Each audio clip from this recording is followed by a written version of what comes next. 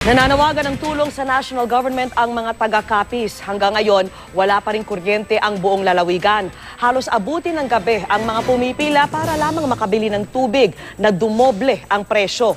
Kapos din daw ang ipinamamahaging relief goods. Sa Altabas Aklan, nanlilimos na ang mga bata sa kalsada.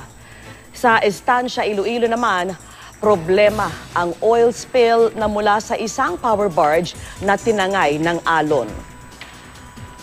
Ang mga taga-Coron Palawan naman umaapela rin ng tulong sa gobyerno. Paubos na raw ang kanilang pagkain at wala na ring supply ng krudo sa lugar.